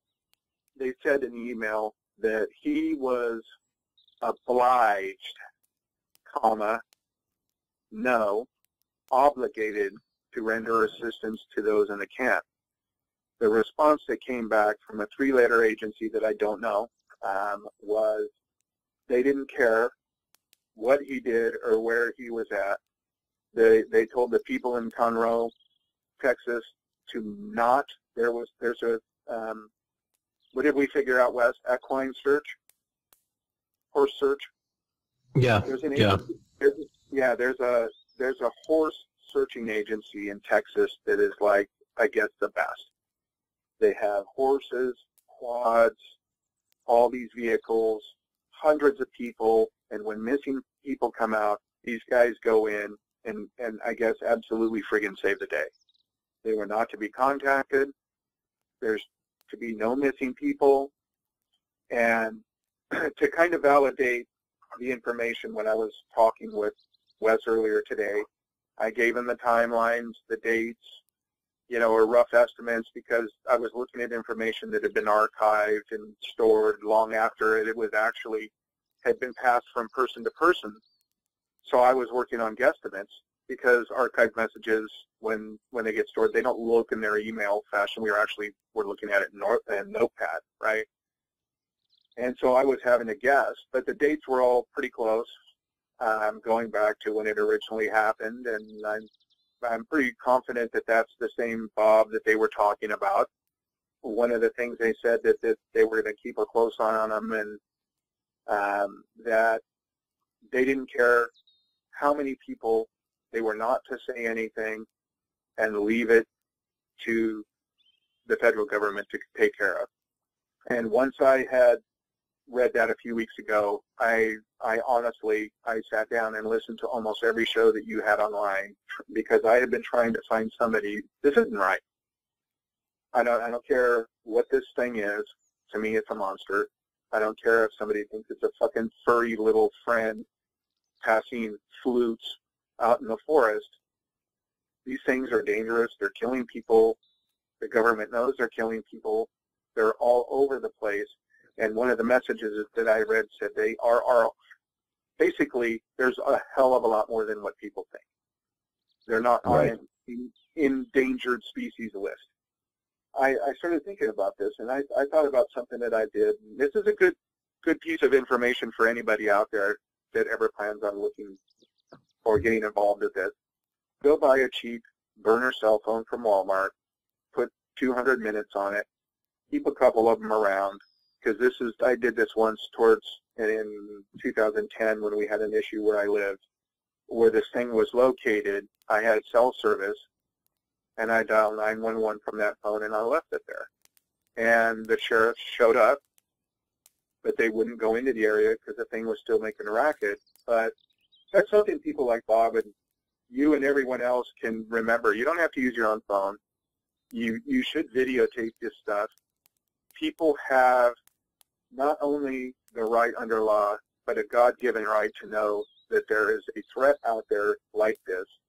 And I'm going to plan on uh, trying to find the right group of people to start working forward to see what we can do to let people know. Because I've heard everybody's reports here, and I don't know, Shannon, have you seen one yet? I have not. Be thankful. Yeah, I'm, yeah. I'm kind of one of the dumb ones that say I want to see one, but after hearing, you know, some of these stories, I, I, I do second guess my my my wish to see one. No, I, I I'll tell you, it's all awe-inspiring. I have nightmares about hearing those deer getting killed, and then and that seem, might seem odd to some people. It's just a deer. But six or eight minutes of listening to that, it still horrifies me. You know? It's pretty gruesome. Yeah. You know, and and the tearing the dog apart and you know, I don't know how many times I've actually seen him. I didn't keep count. I wasn't all into trying to make foot casts or anything like that. I was, I was in, I didn't know what to do. I didn't, I couldn't, I knew I couldn't talk about it. Hell, if I would have went down to the, the sheriff's department and say, hey, I got a Bigfoot behind my house, they'd have ran me out of town. In fact, they almost did anyway. And I never told them what I was seeing. I don't believe that people truly understand how dangerous this is. Um, they don't. That's why they all want to run out there with a camera and try to find one and you know feed them and do all these silly things. They have no clue what they're up against. I, one thing you know I thought was fascinating about you were talking about the emails back and forth between the different departments in Washington and Oregon. And I told you this earlier, Ken. About eight months ago, I was contacted by a state biologist in Washington, one in Washington and actually one in Oregon. And both had been in service for a long time. They've been doing it for a long time. Up until recently, they had gotten an email stating not to go in a certain area unless they go in groups of three and they go in well armed.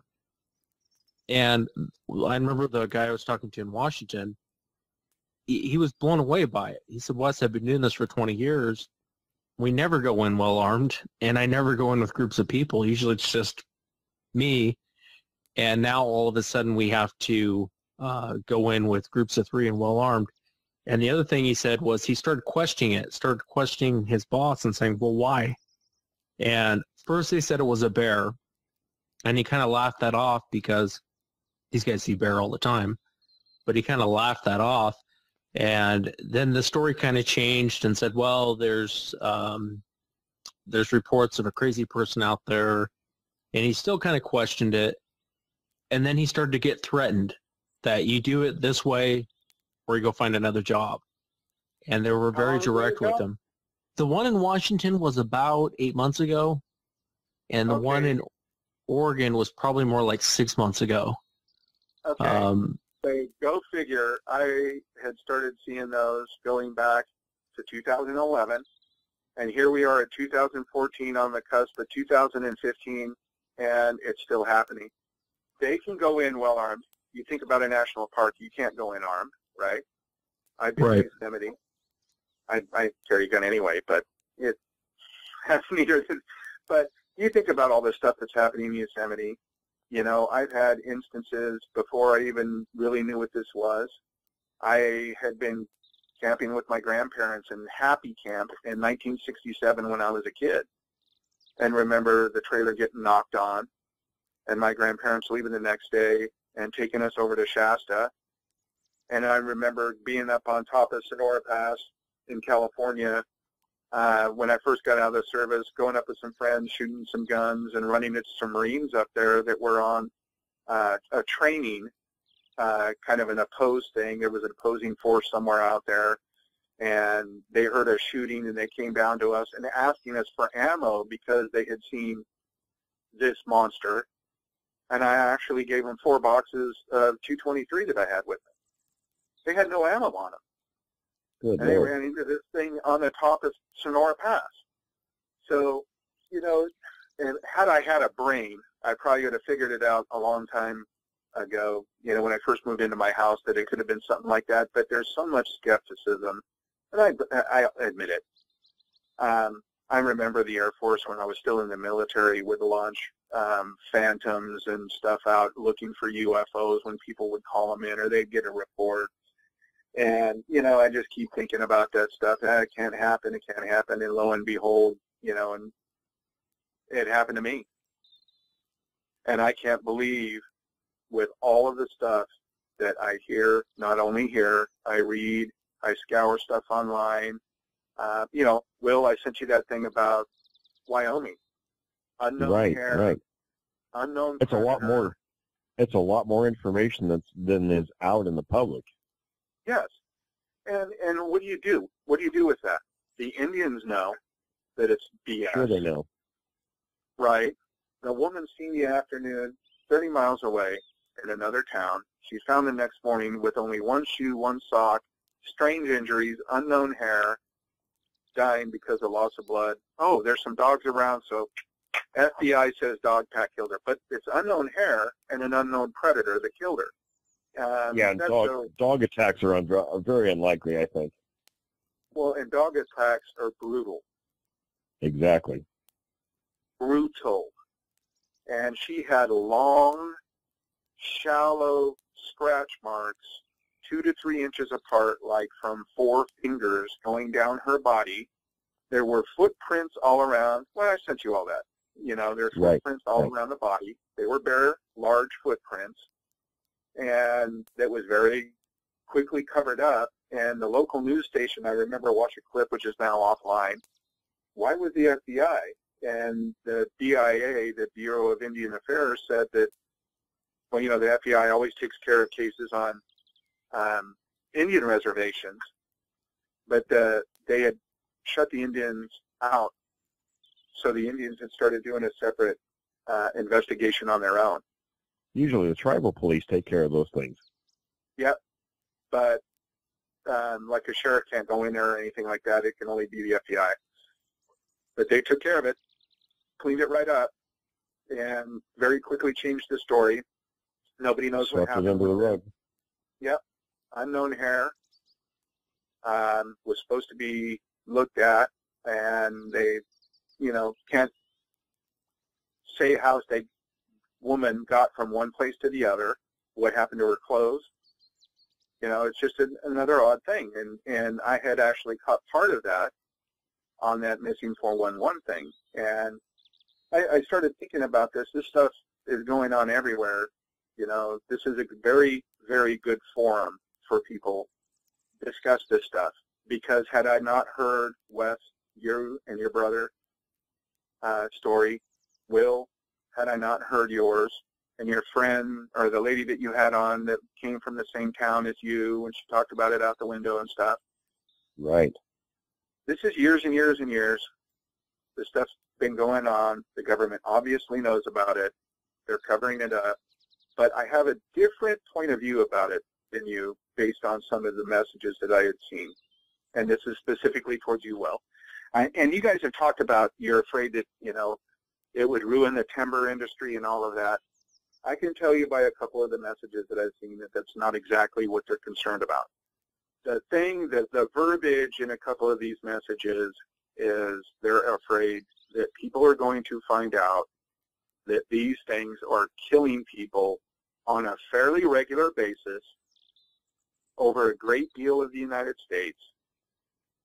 And the government has known about it for a long time and has not really done enough to protect people or even notify them that it's a problem. Now, I know that you guys have other contacts that say that, you know, it would crush the economy and all that, but can you think of the outcry if all of a sudden they found out that there had been two, three, or, you know, hundred or oh, sure. thousand? Yep. Right. I, I'm not. I know. I'm not saying that the economy is the only reason. That it's a comp. Um, it would be a combination of things. You know, you're talking economic, there's liability issues, like you were saying.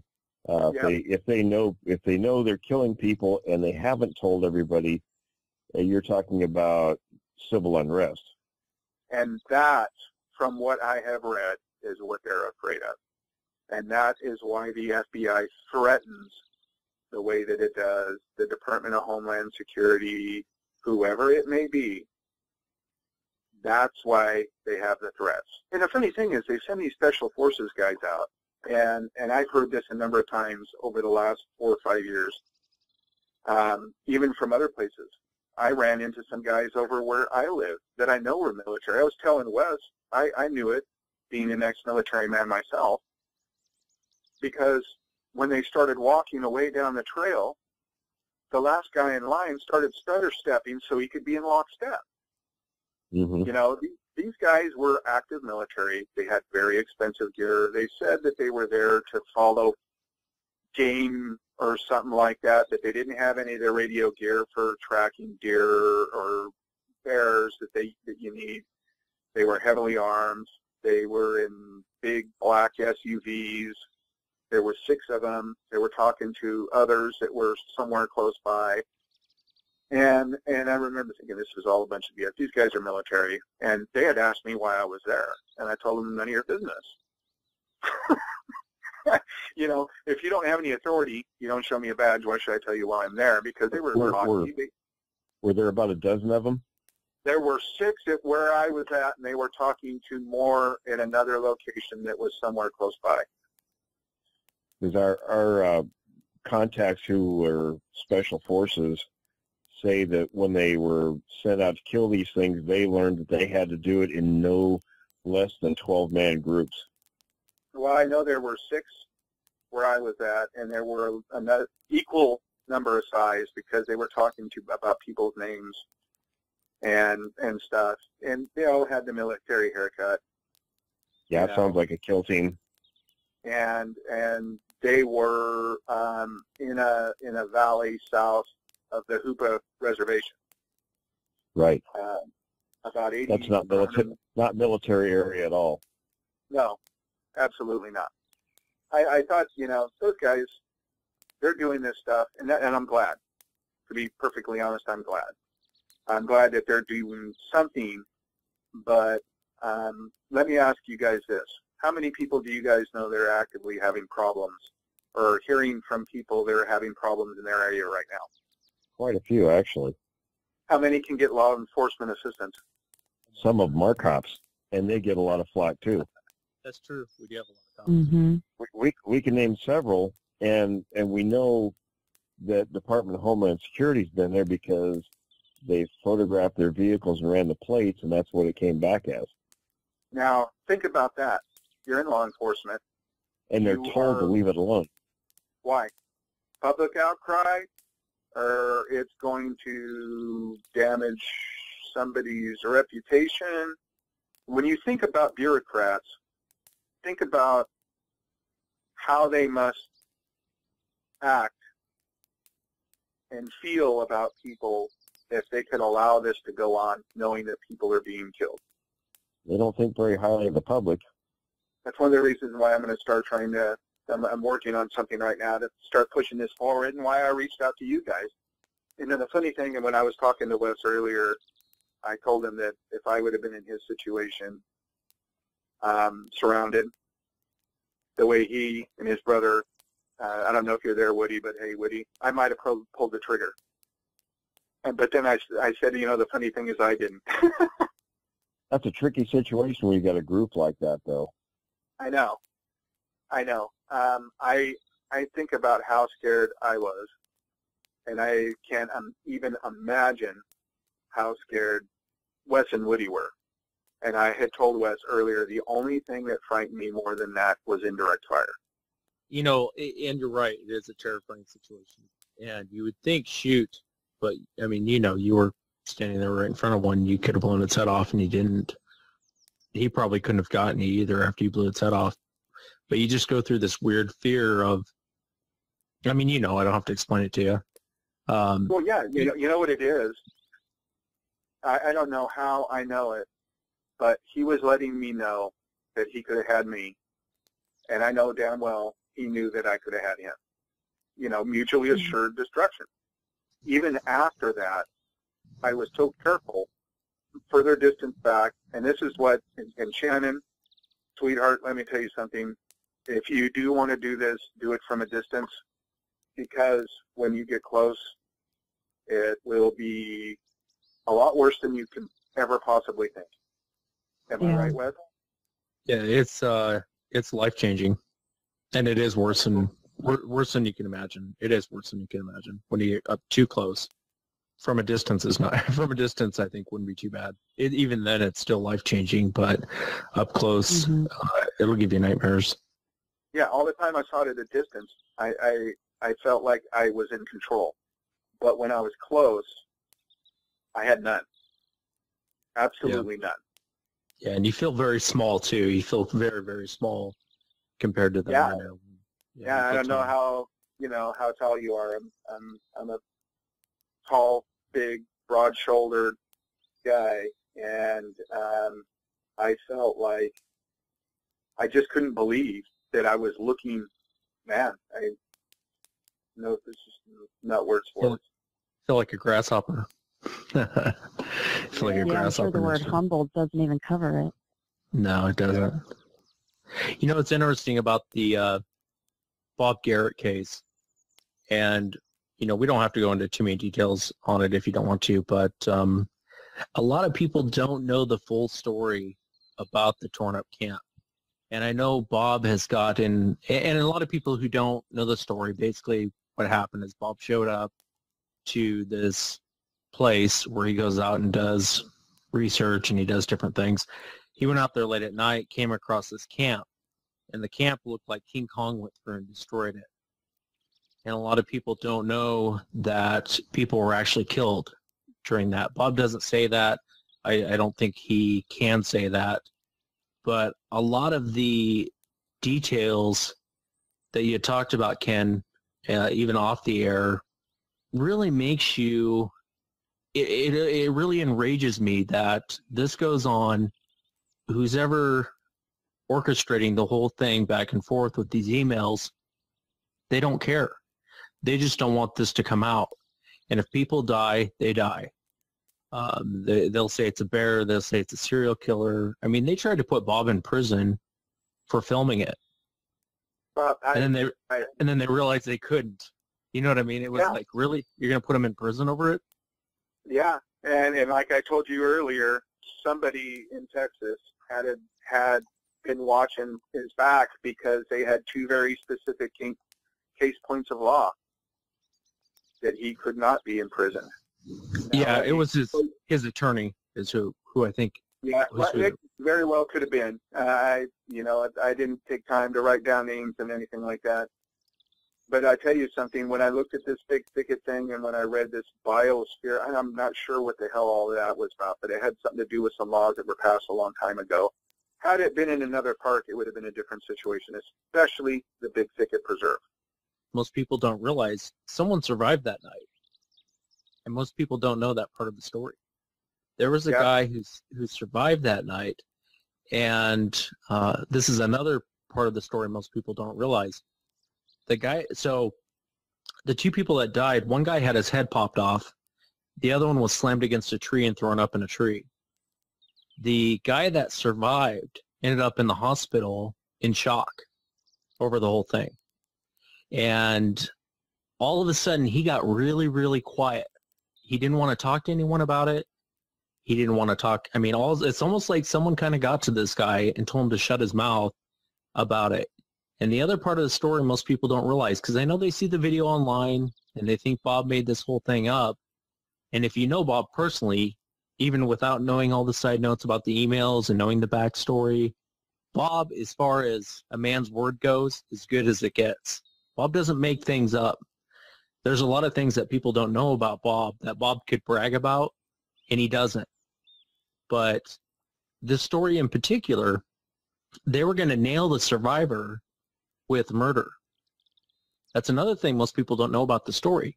They were going to nail the guy with murder, saying he murdered these two guys. And the problem that they ran into was how do you explain the guy being in shock in the hospital? And while he was in shock in the hospital, all he would mutter was monsters, monsters, monsters. And they couldn't figure out what the hell was wrong with this guy. So there's a bigger picture to the story that most people don't realize and Bob doesn't talk about. And I don't even know if Bob can talk about some funny things I read that uh, some of the people were poking fun at a certain agency over their very, very slow response time and waiting till it was basically broad daylight before they got there. That was the first thing. And, and second, that they didn't seem too concerned about starting a search for missing people. Trying to find any information on anyone that died at that point in time in and around that area is it's not there. So I don't know how they covered it up. I know that they were trying to use a quote serial story, you know, but it's not going to hold much water. In fact, one of the, the messages said that these these guys aren't stupid, meaning guys like Bob and that that go out and do this all the time, that know what this is, that know what's taking place. They're not dumb. And and I think there was at the last message that one of them said is, you know, at some point someone's going to start taking things into their own hands and this is in a this is in a park that's in between two very large areas in in Texas, meaning Houston and Dallas, that has thousands of visitors every year, and they're taking their kids and their family and their friends into a place where you could be eaten. Go live with that. Yeah, right. pack up the bags, get a tent, head on down there, and yeah, by the way, you might want to bring a dozen or so guys with guns with you if they're not going to do anything about it. Well, that's the other thing, too, about the story. You had mentioned waiting till daylight. Bob had called, most people don't know this part of the story either, um, and Bob doesn't talk about it. Bob called 911 before he actually started filming anything. He called 911, and they brushed him off on it. So he went around trying to see if anyone needed help first and then decided to document it because the more he walked around, the more he realized something's wrong here. This isn't like a drunken fight. This isn't, um, something's not right here. And he noticed all the footprints and he noticed, um, he started even film some of the footprints around there. And how about, how about the drag marks? The drag marks, yeah. The body's being dragged off. He noticed that too. I think he even filmed that. Yeah, he did. It was quite clear. Yeah.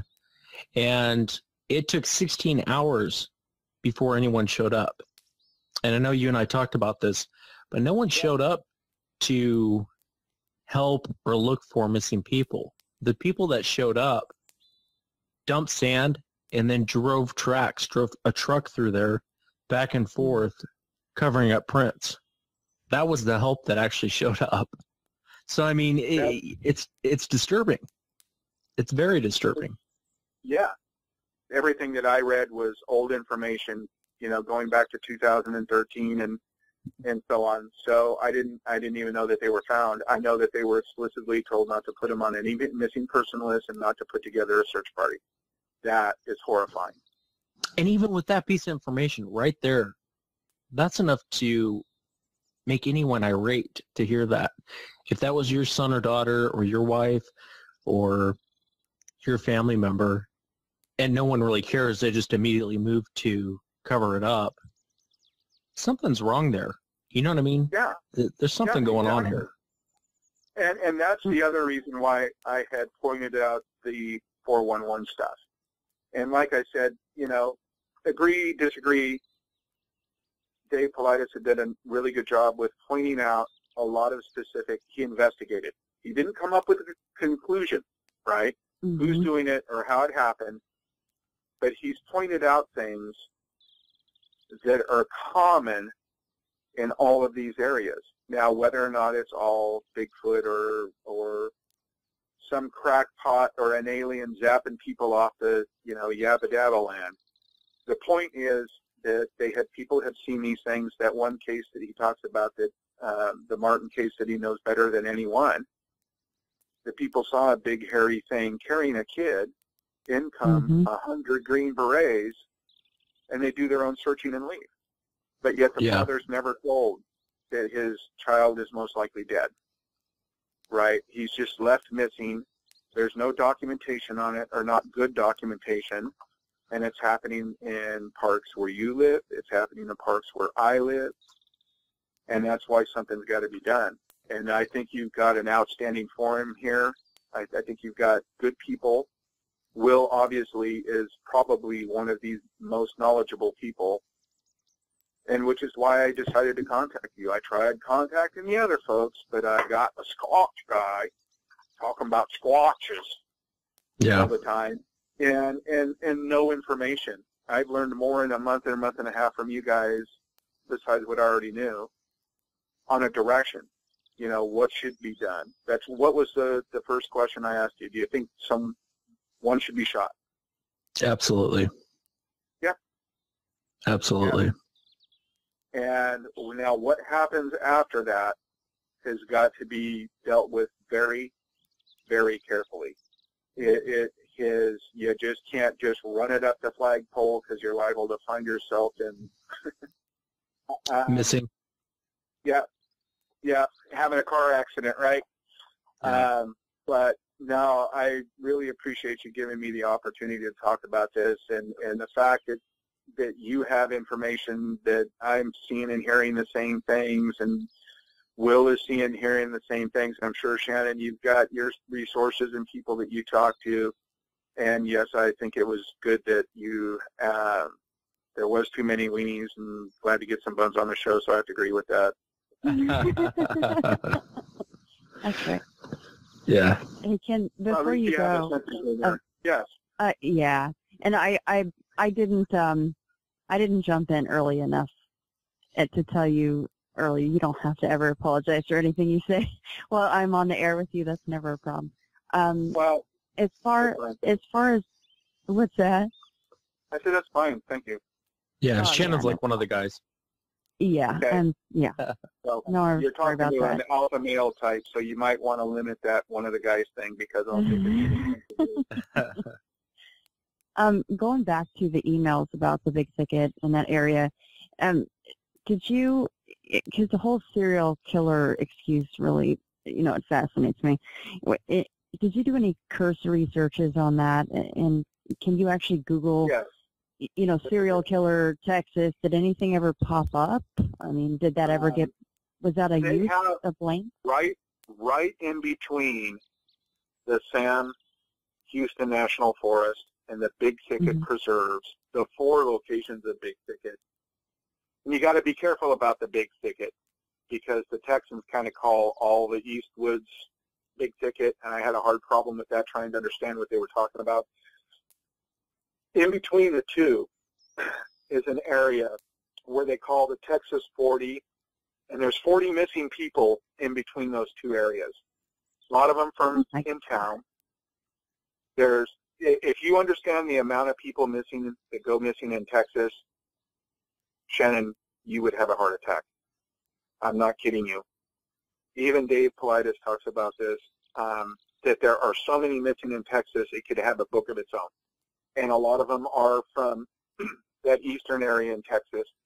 In fact, they were looking for a young couple in Oklahoma around the same time that this was happening to Bob last year, um, finding the torn up camp that were headed to Texas that were never seen again. They made it to the missing persons list. There was some comments and references about this couple, but they're believed to be dead now, um, as well as you know the serial story of the Texas 40, and they're adding names to that list.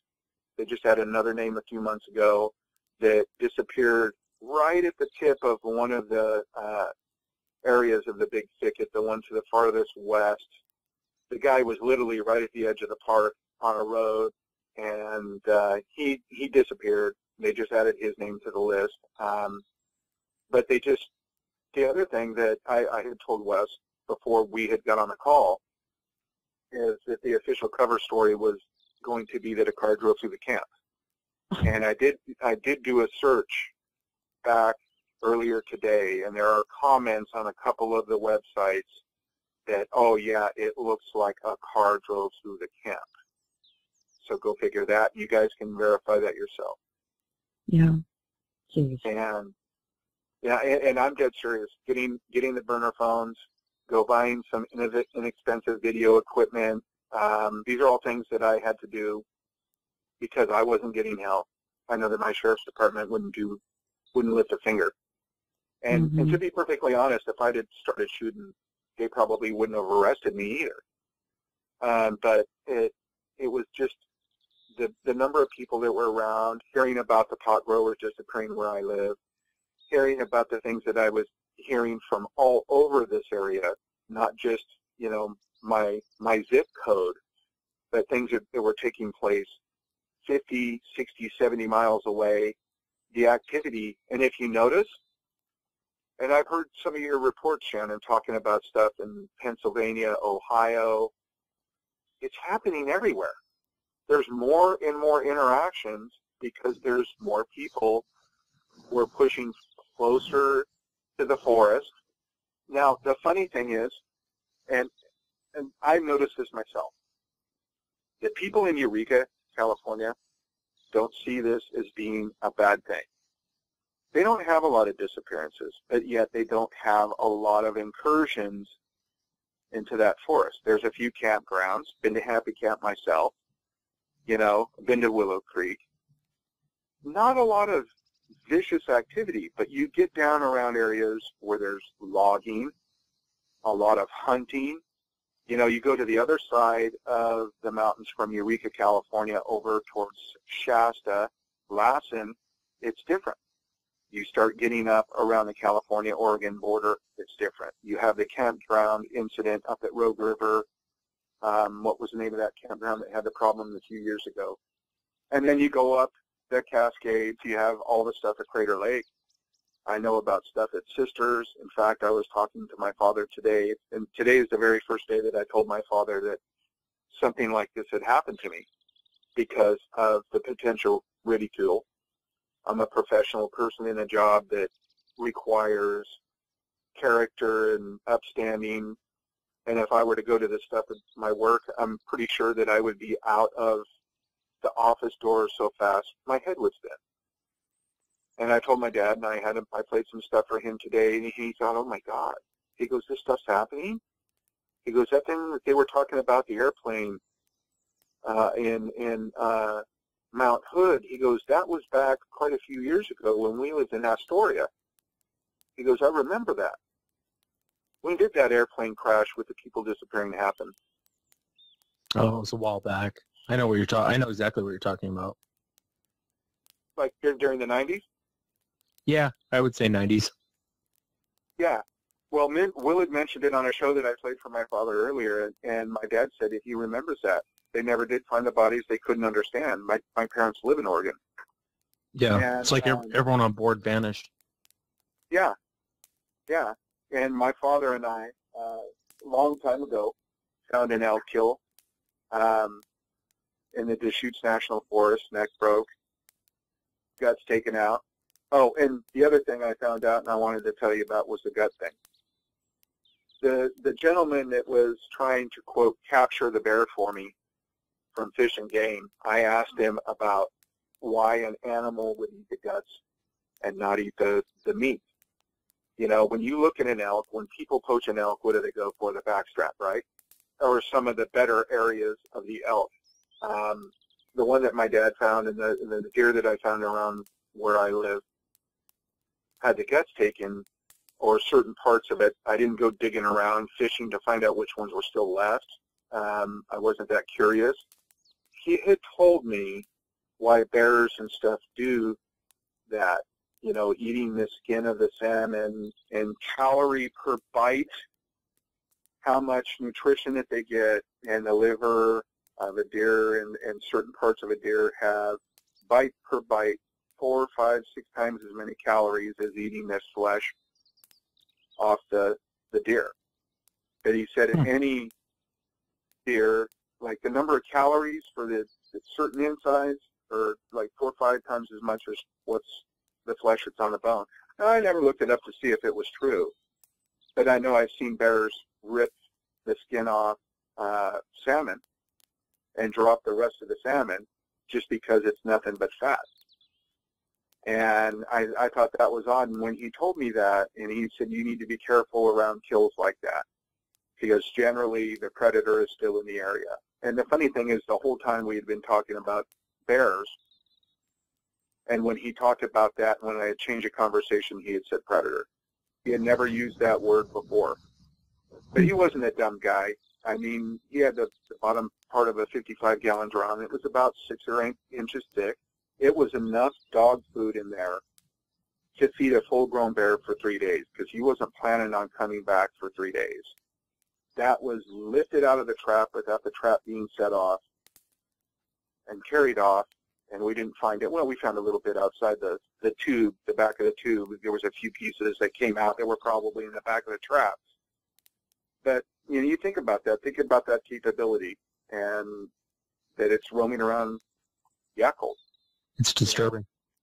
How Makes you wonder- from Oh, I'm only uh, 20, 25 minutes away. You still go up there? Yeah, I go up there occasionally. Usually only during the day, but yeah, I, I go up there occasionally. Looking? Uh, yeah. Yeah, I'm very well armed when I go up. Well, I know you guys got some very good audio because I've heard some of the exact stuff that I've heard out in the woods around my house. I, I don't know what they're saying. I can't repeat it. I don't know the growl. I know that thing that shook my window that night that got scared the death out of me. I know that was infrasound. And I think what I told you, Wes, is, is the Marine, I, I wasn't trained for combat. I was trained in aviation, and I was I was working as a temporary uh, TFO, and I was being a loadmaster on a C-130 delivering gear to Marines in the southern Philippines after they lifted martial law in 1980. So I got stuck with them. It was either that or to go to the mess hall for six to nine months, and I didn't want to do that. So I helped these guys, and I got to stay and work with the Marines for about six, almost nine months uh, off and on. And of course, the rest of the time I spent in Olongapo in the in the PI, so that was nothing but fun. But you know, the the, the guys were teaching me about um, mortars because some of the people that we were looking for had old U.S. military gear, and you know, he said whenever you have low frequency stuff that shakes and vibrates your body and your brain and your head, he goes, that's what damages you. That's what kills you. I know when we we had called in a strike one time and they used thousand pound bombs. We had to back up because of the concussion. The number of bombs that they were dropping in close proximity would have killed us if we would have just stayed where we were at, just because of the concussion alone. We have not been hit by any fragments. We would have been dead. Our guts would have almost liquefied. He was going through this whole process with me. I told him, I said, you know, wow, so what do I do? You know, he's teaching me all of this stuff. And he's talking about covering your ears, open your mouth, you know, try to turn away from it, bend over, try to make your body as small as possible and all of this. And that same stuff that I had heard and seen there, that vibration, my dual pane Megabucks windows were shaking. Um, I have a blue handmade cross that is a stained glass, and I'm a religious guy, and and I it was hanging inside the window, and it was vibrating, and the the the curtains. I mean, the the, whole thing, and and I know the infrasound comes up, but the noise that it made was so odd, and it had a rhythm to it. I don't know, like I said, when the when the whoever it was slammed the tailgate or the truck door, it stopped. The concentration stopped and the deer was able to get away. If you go out and into the woods and you hear something that makes you feel strange, flee. Was it a growl? It wasn't a growl then, is what you heard? It was kind of a low rumbling growl, but it was deep and it wasn't loud. Yeah. It wasn't as loud as I would have, it wasn't as loud as the screams that he would do when he would go over the ridge but it was very kind of that Kumbo said it in the second Kumbo show that you guys have on your thing. He spelled it out to a T. That was absolutely perfect explanation of it. And I just remember I was sitting here, I was these windows and, and all of this stuff and laying in bed and I was in a half psychotic mood anyway, having a bunch of steroids pumped into me and I was looking at this deer doing the the, the funkadelic, and it it couldn't move. It was just standing there, and its head was kind of, you know, almost like an old '80s rock video type thing. Its feet, and um, but once that concentration was broke, instantly, that deer realized threat gone. All the other deer were already gone. I don't know how it didn't affect them because there were some still close by. It was hmm. more like he was he was facing directly at my window at this deer, which was in between the two of us. No, I think it was really good to talk to you guys, especially you, Wes, earlier today, and and Shannon. And like I said, I'm going to continue to work on what I'm working on. Um, I'm going to contact you when I get a more well-developed plan on how. Yeah, contact contact me with that because I might be able to help you with that. Are you interested in being part of it? Yeah, absolutely. I contacted you guys for a reason. This is the reason. Uh, I couldn't find anyone else that it, that had the knowledge, the background, and the experience. It's it's got to be a group, and what we had talked about with the properties and stuff like that. The only way that this can be pulled off is is if this appears in a threatening fashion. You understand? Yeah, absolutely. You can't, and, you can't go out and do it. You have to make it appear that they came to us. And I know that enough from reading what I read that that that's a big kicker there. So when I get more to this and, and I get a more definitive plan, I'll reach out to you guys. If I hear anything else, or if you guys want to know anything else uh, about either me or any of my stuff, feel free to reach out at any time. The communications are now open, and uh, I appreciate every, everything that you guys have done today. Man, oh man, what an incredible story, eh? I know it's a lot to digest at one time. For some of you, it's way too much to believe. Take a little time, think about it.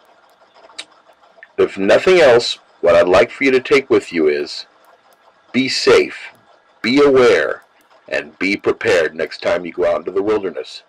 There's a lot more to this world than what meets the eye.